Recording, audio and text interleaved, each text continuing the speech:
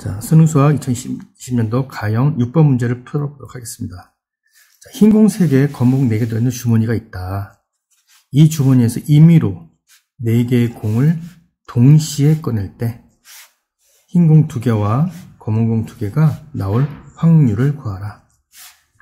자, 확률은 전체 경우에서 해당되는 경우의 수를 뽑아내면 되겠지. 자, 흰공 3개, 검은 공 4개가 들어있으니 전체 7개가 있는 거야. 자, 임의로 4개를 뽑아내니까 7개에서 4개를 뽑아내는 경우에다가 동시면 흰 공 3개에서 2개를 뽑아내는 거랑 동시면 이렇게 곱으로 표현해줘야겠지? 검은 공 4개에서 2개를 뽑아내서 계산해도 되겠지. 자, 7개에서 4개 뽑아낸다는 것은 3개가 남아있는 거잖아. 그래서 7개에서 3개를 뽑아내는 건 똑같은 경우야.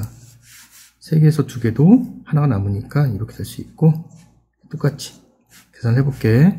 7 곱하기 6 곱하기 5 한 다음에 밑에 3패 3 곱하기 1 나눠주고 위는 3 곱하기 4 곱하기 3에서 1을 나눠줘야겠지.